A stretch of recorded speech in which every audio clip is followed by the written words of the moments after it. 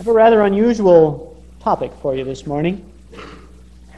My wife and I were talking about it in the car on the way to church, and she said, That doesn't sound like the usual kind of Sunday morning topic. And in a way, it isn't. What I would like to do, and have been doing in the course of the last several months, is taking you collectively for a little peek into the behind the scenes activities of the board meetings that we had. We talked about the purposes of a church. And our board reached the same conclusion that other church boards reach that there are four purposes for a church. One of them is for worship. We looked at that in the month of February. One of them is for witness. We looked at that in the month of March. One of them is for fellowship. We looked at that in the month of January. And the fourth one is the hardest one to define. In fact, we changed the word about four times, though we knew what we wanted, we didn't know what word would best describe it. And we wound up with the word that is the most descriptive but the least understood. The fourth purpose is nurture. Now that's going to be May. That's not where I'm going this morning. Because in the month of May, we are going to try something just a little different in the morning services, not in the service, but as a result of them. You're going to receive some family projects and some Bible questions to go along with the sermons in May that you can do as a, as a unit at home. And there'll be some where if there aren't children in the family, there, or if there are two adults together, they can work on them. Some challenge to Bible study that will come out of the morning services. We hope that it will be a nurture experience. Those four purposes are a standard textbook result. We took 15 men, 16 men, 12 board members, and 4 staff members, put us into a room, started with a blank piece of paper, and wound up with the same four purposes for a church that everybody else winds up with, whether they're talking about it from an academic structure or a denominational structure. We all wind up with the same purposes. They're common to all churches. It doesn't make any difference if you're in a Baptist church, a Presbyterian church, a Lutheran church, a, um, Pentecostal church. Those same four purposes are going to be involved in that assembly. When you begin to realize that, you begin to ask yourself a question. If all of those purposes are going to be in every kind of assembly, regardless of the brand label on the outside of the can, why are we here? Why is there such a group of people as this composite body of people sitting in this room this morning? What's, why does Bethesda exist? A couple of years ago, on the campuses of the colleges of the United States, the biggest questions were something like this Who am I? Why am I here? Where am I going? And what's going to happen when I get it done? What's the end result? Those four questions were occupying the minds of young people on college campuses. It spread out through the ranks of people out in the street in different ways until the psychologists began to convince us that we had an identity crisis. Women had to discover what was the role of women. Children had to discover what's the role of the child. Men have to discover what is the role of the man. Families have to discover what's the role of the family people are looking at the love and the self image in their mind as an identity crisis. Why am I here? Who am I? What kind of a person? What makes me unique among all the other people around here? When you have an identity crisis individually, there's great emotional upheaval. When you have an identity crisis politically, there's a revolution. When you have an identity crisis corporately, there's economic disaster. People, government, business, and churches need to know who they are and why they are there. Now, you see, I said I have an unusual subject.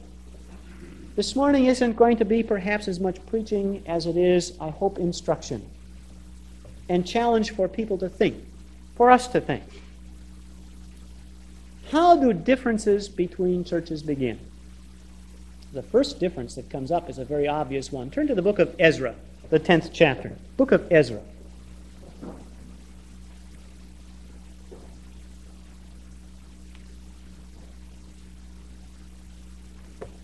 Ezra chapter 10. And we'll look at the 11th verse, please, of Ezra 10. Ezra is speaking up, talking to the people of Israel and laying before them things that they have done that are wrong. And in verse 11 he says, Now therefore make confession to the Lord God of your fathers, and do his will, and separate yourselves from the peoples of the land. And in this particular case, from the wives that they had accumulated because of what they were doing. In the Old Testament, you consistently have God saying to his people, Come out from among them and be ye separate, saith the Lord, and touch not the unclean thing. Some people, because of those passages, went to an extreme that was a philosophy called monasticism. They said, if I'm going to be separated from the world, I've got to be in just an enclave that is totally self sustained. And so, in the closing time of the Dark Ages, the monastics came to the, to the fore. To separate yourself from the world, you had to have a little cubicle room in a room where, uh, in a building where it was only other people like yourself. The ultimate example of that was a man by the name of Simon, who is today called Saint Simon and he is the patron saint by the Roman Catholic Church of flagpole sitters. St. Simon said, I want to be dependent only upon God and separate from the world. So St. Simon had a pole set in the ground, like a flagpole, and a platform put on the top of it, and St. Simon lived on the flagpole. Twice or three times a day, he would pass a basket down, and it would be filled with food and so forth, and the exchange of the clothing and and then he'd pull the basket back up, and Simon lived on his flagpole. He was separated from the world. But St. Simon was not really separated from the world. The world came to his flagpole, and the world put food in his basket. Somebody washed his clothing. Somebody darned his socks. Somebody helped load the basket. Somebody baked his bread. He had no oven up on top of his flagpole. It was a very unrealistic kind of separation. In the Word of God, that's recognized. In 1 Corinthians 5, Paul says in verse 5, I've told you, somewhere in that neighborhood, verse 5, 6, 7, I've told you not to keep co- company with any that is such and such a person. And he lists some sin. And then he says, But you can't do that entirely because you'd have to be out of the world. It's with believers who are not like that, or are like that, that I want you to become separate. You see, the biblical view of separation is that you're not supposed to adopt the philosophy of the world and the viewpoint of the world, but as long as you're alive as a human being, you somehow have to rub shoulders, even though you're separate, without getting touched by it. That's hard for the church. That problem today is not as small as it used to be. There are many today who come to know the Lord Jesus Christ as Savior and then say, I'll go back into this group over here where Christ is not taught, and I will associate with that group religiously in the endeavor to do something with the group. Very seldom does that happen. Christians found it necessary, believers in God found it necessary to separate from the world and to come together to strengthen each other's faith to encourage each other, to help each other. And all the way through the Word of God, you will find that happening. Whether it is the people of Israel in the Old Testament, or whether it is the church, the body of Christ in the New Testament, believers found the need to come together. When they did not find such a need, then the writer of Hebrews says in the 10th chapter in verse 25, Don't forsake the assembling of yourselves together as the manner of some is because the later it gets in time and the worse conditions in the world get, the more you're going to need each other. The more you need that corporate strength, that encouragement for one another. Acts chapter 18 is the next passage I'd like you to look at. Acts chapter 18. Now you see, for Israel, they got separated from the nations. That's the first big separation. But now you come into the book of Acts, and there are some other things that are happening in Acts chapter 18. Verse 4. And he was reasoning in the synagogue every Sabbath and trying to persuade Jews and Greeks. But when Silas and Timothy came down from Macedonia, Paul began devoting himself completely to the word, solemnly testifying to the Jews that Jesus was the Christ. And when they resisted and blasphemed, he shook out his garments and said to them, Your blood be upon your own heads. I am clean, and from now on I will go to the Gentiles. Now understand the process. First, you had God separating the people of Israel from the world in the Old Testament. Israel was given the job of holding the Word of God. Israel failed to acknowledge Jesus Christ as Savior, as Messiah. Yet they kept on claiming to be God's people because they were Israel. In the book of Acts, they went to these people and proclaimed Christ in resurrection. When they continued resisting, it became necessary for the believing ones to step out of the contact of the nation. Now you have the nations and the nation and a believing core within the nation. So, what you see happening is differences beginning to appear. If I can go back with you a little into church history, there was a time when almost all of Christendom fell under the pale of one church. At that particular time, the study of the Word of God just about disappeared. Education fell apart. The arts collapsed. We call that period of time in history the Dark Ages. As that time drew to an end with the Renaissance, the birth of the printing press, a certain man, one day in in concern for what he saw happening in a very practical thing theologically and what he was seeing in the Word of God as he studied, opened the door of his church, walked to the outside with hammer and nail, nailed a paper to the door. On the paper was the longest doctrinal statement probably ever put out in any one place, the most detailed, where Martin Luther nailed 95 theses to the door of the church in Wittenberg. I doubt that most of the people that walked by read all of the information on, on Luther's thesis. What Luther was saying, in effect, was what we need to do is return to the book. We need to come out from where the church per se is at this point of time, where the world per se is at this point of time. We need to come out from it, separate ourselves, return to the book, and stand for the truths of God. Again, think in biblical times. After the crucifixion of the Lord Jesus Christ, and prior to the outpouring of the Holy Spirit upon the day of Pentecost, the disciples chose to be together. They chose a place called the upper room, where they fellowshiped regularly. If you were Peter in the book of Acts, and you were looking for a place to encourage your heart after having been sitting in a jail cell for most of the night and suddenly re- released by uh, divine interference through the form of an angel, you would want to find some place to go where you could find some harmony. And Peter thought about it after he got out on the streets of the city and realized it finally dawned on him I'm free. The Lord has opened the door of the jail. He thought about it and he said, I know where to go. I'll go to the home of John Mark's mother.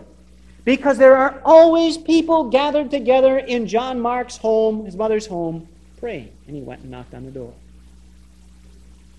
when Paul visited the city of Philippi, he went to visit believers. And he knew where to go. It says on that morning he went out to the, on the, to the riverside because that's where prayer was wont to be made. They had to come together by the sheer need of Christian encouragement and sharing in the Word of God. And so you have the birth of groups today we call churches. It exists because of that need, and it's a God given need. In 2 Peter 1 1, Peter opens his letter by talking about those who have like precious faith. Paul writes to Timothy in 2 Timothy chapter 2 and verse 2, and he says, Timothy, that which you have learned in the midst of many witnesses, the same commit to faithful men who shall be able to do what? Teach others. Pass it on down the line. The first big division that's absolutely a necessity, absolutely a necessity, is for Christians to recognize ultimately this truth.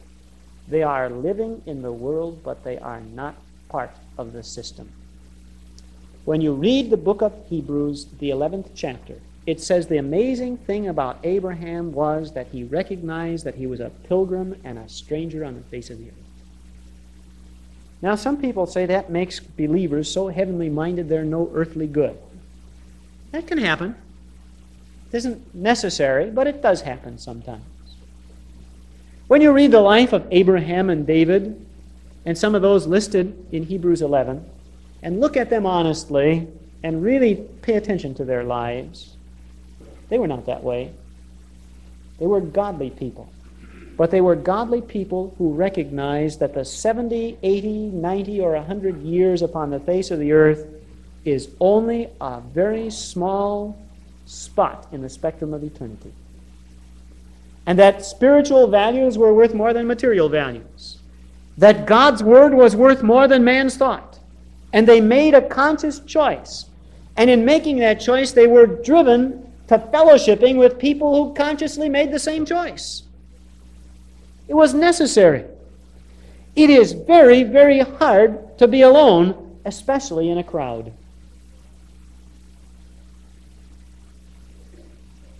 I don't know if you've ever been in a class like this, but I've been in, in a Greek class in Bible school, and there were four of us. Four students in the Greek class. We were all normally in the upper division grade wise of our class. But there were only four men taking Greek, and they graded on a curve. That meant one A and one failure out of four A students because it was a hard curve. You wouldn't change it. Well, that was tough. Sometimes you felt like you got so much individual attention that you'd like to sneak off in a corner somewhere and not be noticed by the professor. And then I sat in a class which I understand today is now kind of a small one, but it was large for then, of about three to 500 students in one classroom. There you could fall asleep, and the professor hardly even knew you were asleep. You hardly even knew you were there. You were a number. There you'd like to stand up and scream and say, Why isn't somebody someplace know I'm here? Have you ever been in that kind of a class or experience? Or a factory? When you work on an assembly line in a factory and the same piece of equipment passes by you all day long and you do the same thing all day long, you almost feel like screaming, What difference does it make whether I tighten those five bolts or not? Maybe if I don't tighten them, somebody will know I'm here.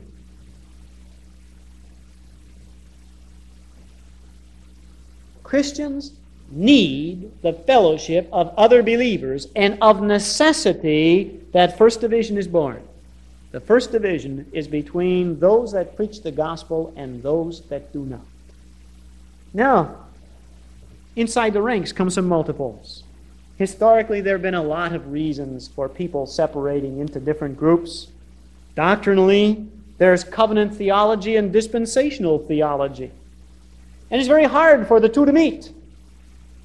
So it divides into camps.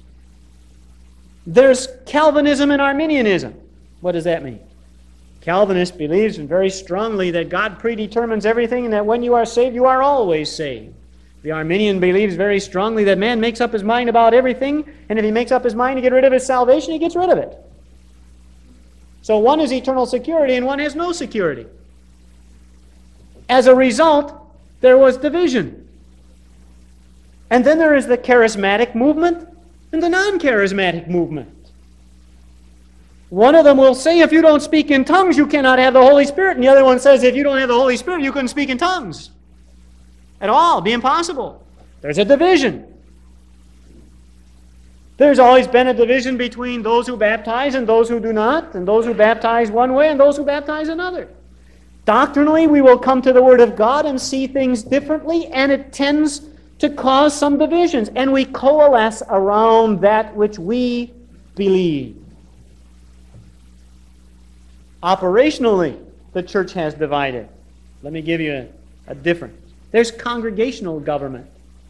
Congregational government says that leadership is granted by those who are led, with the consent of those who are led. Those who work on an eldership system say has nothing to do with those who are led. We who are leaders appoint the new leaders. So you wind up with congregationally oriented churches, and you wind up with churches that operate on what they call an eldership principle. And they divide. Sometimes all these divisions occur within one so called denomination. There are faith missions and supporting missions. Do you ever wonder why there are so many missions that teach the same thing? One mission is a faith mission. It says, we operate solely by faith. When our missionaries go out, there's no guarantee how much money is going to come in. There's no guarantee that they're going to have passage coming back. And another mission says we operate by faith too, but not like that.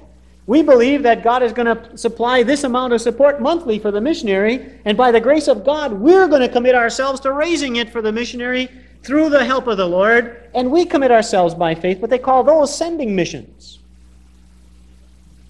Before they'll send out a missionary, they have to have so much passage money on hand, and they have to have a certain level of support. Because they've watched the other kind of operation where a missionary gets out on the field, and occasionally the money doesn't come in, and you have a starving missionary on the field, and they can't even get home. You see. So operational differences come about. One of the big operational differences today is who's boss, the board or the pastor.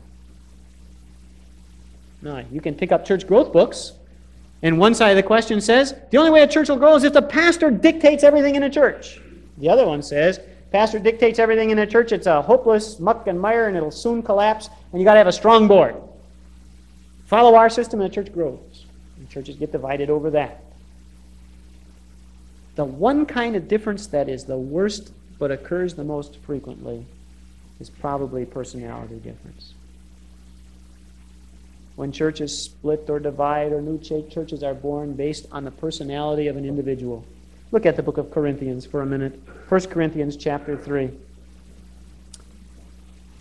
Here you have a biblical example of this. Verse 3, 1 Corinthians 3 3. You're still carnal, you're still fleshly. There is jealousy and strife among you. Now, notice he doesn't say you're fighting over doctrine or organization. It's jealousy. You're fleshly. You're walking like mere men. Because one of you says, I am of Paul, and another says, I'm of Apollos. And another one, according to the first chapter, says, I'm of Peter. And then there were those, finally, who had the last word. And they said, All the rest of you follow men, but we follow Christ. What was happening? That kind of division was a bad thing. It's the worst kind of all. Now, every church, every group emphasizes its own identity. We are Lutheran. We are Baptist. Every church does that. Every assembly. If, if we're not part of a group, you know what we say? We are independent. We have it as an identity, you see. Every church emphasizes its integrity. We are here because. Every church emphasizes its own importance. Somebody came to me one day and said, I don't understand why the people of Bethesda think Bethesda is the best church in the city. That's pride. Can I ask you a little question? What do you think the people in the Bloomington Assembly of God think of their church? What do you think the people attending Wooddale Baptist Church or Edina Baptist Church think of theirs? What do you think the people that go to the church, the Colonial Church of Edina, think about the Colonial Church of Edina? What do you think the people of Crystal Free Church on the north side of town say about Crystal Free Church? Don't you think each one says, well, we're going here because this one is the best church in town? Because for me, it's the best church in town.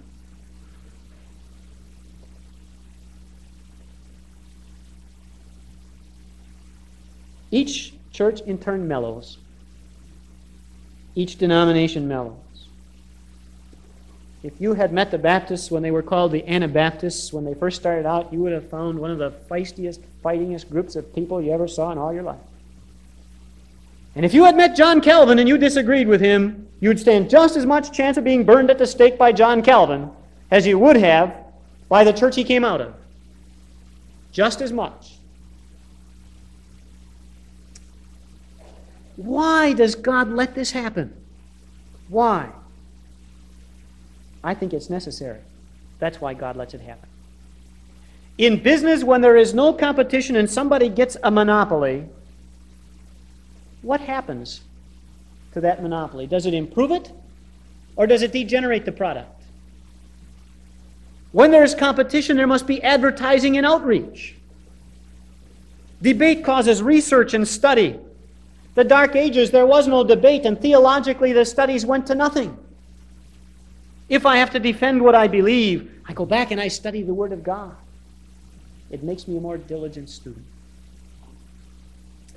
Go out to buy a car. You want to meet people at their best. Now, you see, we bought an Omni. Somebody else might have a Horizon. I heard a dealer for the Omni tell me what was wrong with the Horizon. Now, let me tell you something. They're made on the same assembly line. They have even delivered them to the dealers. Omnis with Horizon stickers on the side. The Aspen and the Volare are the same thing, and I've heard people argue over which is a better car, the Aspen or Aspen and the, Aspirin, the Aspen or the Volare. One dealer told me the Dodge Challenger is so much better than the Plymouth Sapporo because we've had years of experience. It isn't the same car that they had years of experience with. The Aspen and the Sapporo are run on the same line, and the only difference is the color of the paint on the outside. Four colors belong to Sapporo, and four colors belong to Challenger. Outside of that, the cars are exactly the same. The engine, the engineering, the shock absorbers, the seats, everything. But we argue Ford Granada, Mercury Monarch, same thing. Sunbird, Skyhawk, Starfire, and Monza all run on the same lines. But we argue which is the best. And the owners will fight over it. You see? The automobile manufacturers don't produce just one car, they produce a couple of them.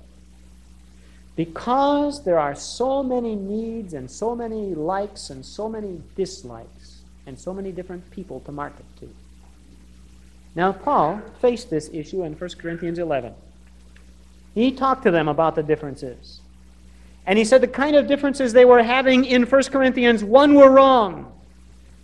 And differences have a base that is wrong. But he also said this in verse 19 of 1 Corinthians 11 there must also be factions. And the word heresy doesn't always mean terribly bad things like we think of it. There must also be heresies, divisions, factions among you in order that those who are approved may become evident among you. It's the differences that bring out the strengths. What welds a marriage together?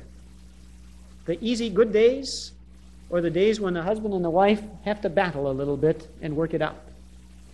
What brings parents and children close together? When the children are wondrously compliant and always do what their parents say? Or when, after you've had a little locking of horns between parent and child, and you come back together again, you realize that in spite of the differences, you need each other and you love each other and, and you're stuck with each other. You know? What draws us together? What draws us together? It's facing adversity and difference.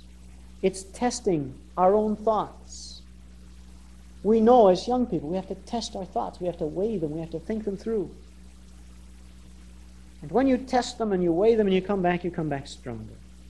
Now, that brings me to our point of the morning. See, all this is leading up to something. There's a reason why this church is here. We don't provide unique fellowship. We don't provide unique worship. We don't provide unique witness.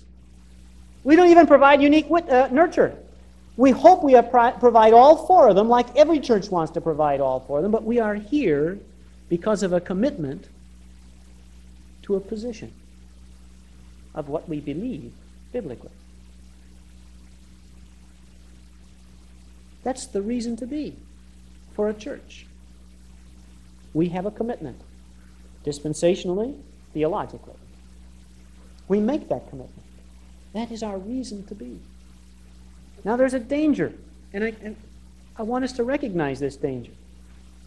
The danger is when any group, whether it's Bethesda or Grace Baptist or Trinity Lutheran of Minnehaha Falls. I'm going to say those three because they're all fine evangelical churches right in the close area. Huh? When any one of us becomes so convinced that we don't need the rest of the body of Christ, then we're wrong. When we don't recognize that the multiple things that God has allowed to develop in the church are there because they give a testimony and a witness to the depth of God's Word. If every believer everywhere saw everything alike about this book, if there were no differences, we wouldn't need the teaching ministry of the Holy Spirit, would we? If every believer saw everything exactly alike, how much studying would we have to do? All we'd have to do is be taught when we were four, five, six, seven, eight years old a system of faith, and then that would be it. We'd know all the answers for the rest of our lives. There'd be no challenge to learn and to study. Watch a Christian young person walk into the college classroom and be challenged by a professor on the origin of life. And the professor say, All right, write a paper on it. Now, I've had some of our young people come into my study, borrow the books, and beg. I had a young man do that on Wednesday night, not even from Bethesda. But he came in, he's been coming a couple of Sundays. He came in, he said, I'm writing this paper for a psychology class on the effect of the difference of creation and evolution, and I need some help. Will you help me? Show me some books. And he was as eager as he could be because somebody challenged what he believed. He wanted his mind in gear to work. It shows the multifaceted grace of our God. Isn't it marvelous how God can reach out in so many different ways and accomplish his purpose? It shows the love of God reaching to so many in so many different ways. And it shows the continued need of believers for the sustaining grace of God. You see, when you bump up against all those differences, and there are good heads in every one of them, when you bump up against all of those differences, you have to say, God, help us. Help us to sort the truth. Help us to grasp the truth. Help us to understand the truth. Make us strong the way we should be strong. Bethesda has a unique position. You know, hey, BT, I think there was a couple breaks Something in. different about the church of the body of Christ as to where and how it began. And there are some external ramifications to that. But let us not lose sight that we are part of the body of Christ, which is composed of people of other persuasions. Because of that, we are members of Greater Minneapolis Association of Evangelicals. We're, we're part of the National Association of Evangelicals. We're in the Sunday School Association. Because we recognize that. Individuals in a family unit differ, but they're still a family. Family units inside of a family tree differ, but they're still the same family tree. Family trees in nations differ, and nations in the world differ, but they're still all men, human beings. You see, Elijah got wrong. In 1 Kings 19.10, Elijah sat on the mountaintop pouting. He said, God, I'm the only one that's right. The whole world is wrong with me. I'm the only one that's right. I'm the only one that stood faithful. And God said to him, Elijah, you're wrong. I've got 7,000 men who have never bowed the knees to Baal. You're wrong, Elijah. And yet there was John the Baptist. The Lord said about John the Baptist, What did you go out to see? Did you go out to see a reed shaking in the wind? Or did you go out to see a man of conviction who said what he believed? You see, what God is trying to do is to balance our conviction and our graciousness in a great balance. That demonstrates the grace of God, and it demonstrates it in a very real way. If we are not convicted about what we believe, we'll never take a stand for it. If we do not recognize that others have a right to their conviction and that within the body of Christ there are differing persuasions, we will become very hard and very cold and very exclusivist. They're both extremes. Neither one is right. We are unique because we have a definitive view of Scripture, but we are a part of the body of Christ in which there are many who hold definitive views. And When you read about the body of Christ in 1 Corinthians 12, understand that it says one part is not more important than another part. I believe God has a church like Bethesda existing for a reason. I think there's something we can contribute to the body of Christ. Just as there is something that can be contributed by any other theological persuasion. God has balanced forces in nature, He has balanced forces in the human body, and in the body of Christ, He has balanced forces. Now, what was the point I tried to make to you this morning? The point I'm trying to make is that churches exist because they believe they have something unique that they can contribute to the body of Christ. Generally, that uniqueness is found in its doctrinal position, not in its operational position. They all come up with the same four purposes, but they may come from a different point of view. So the church will emphasize that point of view. And it's incumbent upon the, the church to emphasize it. It's there. God raised it up for a reason. It's incumbent to emphasize it. But not to develop the kind of feeling that nobody else in the world has any truth whatsoever. That's wrong. The pastor who stands behind the pulpit, regardless of its brand label, wouldn't make any difference what brand label I was or any pastor was. If he did not believe what he was preaching, would he be able to present a very consistent case for his position? Would he be able to uphold that unique reason to be? You see, when our board got done talking, we discovered that the same four purposes unite the church. Any church, all churches. But that our reason to be is not our fellowship. That may be very sweet, but that's not our reason to be. It isn't our missionary outreach. That's very nice, very good, very worthwhile, but it's not our reason to be. Our reason to be is our common belief and how we treat the Word of God. That's the justification for a unit church. Listen, if that wasn't the reason, you know what would have happened when we started growing out of the cities and into the suburbs? Every church in the suburb would have been called Bible Church. Would have been First Bible Church of Richfield, Second Bible Church of Richfield, Third Bible Church of Richfield, Fourth Bible Church of Richfield. That isn't the way it grew because people had committed themselves to something that they believed biblically. You have Wooddale Baptist Church, and you have uh, Bloomington Assemblies of God, and you have Edina Baptist Church, and you have Crystal Free Church. Because when people step out of the city into the new area, they coalesce again around what? Around some point of commonality in what they believe. So when you boil it down, the reason to be for a church is what it believes.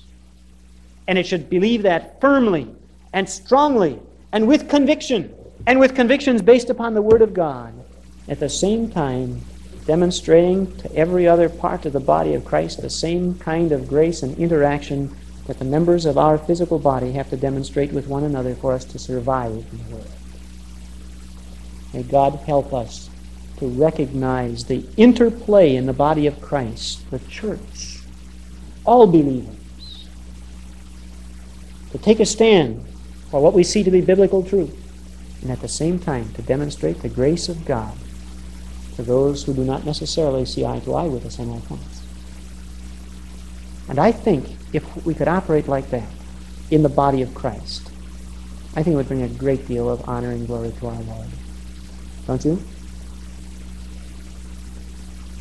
And isn't that really why we're here, all of us, sum total?